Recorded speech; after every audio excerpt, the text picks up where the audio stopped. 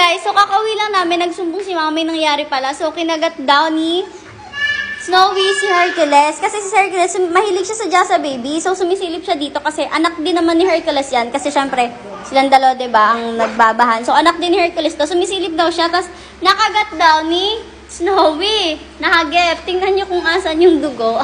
dito siya nakagat sa kanyang makapal na labi. Patingin lang. Ayan o. Hindi ko maipakita. Ayan o. Ayan, ayan. Ayan! Ayan, nilagyan ko ng flash para kita nyo. Ayan o.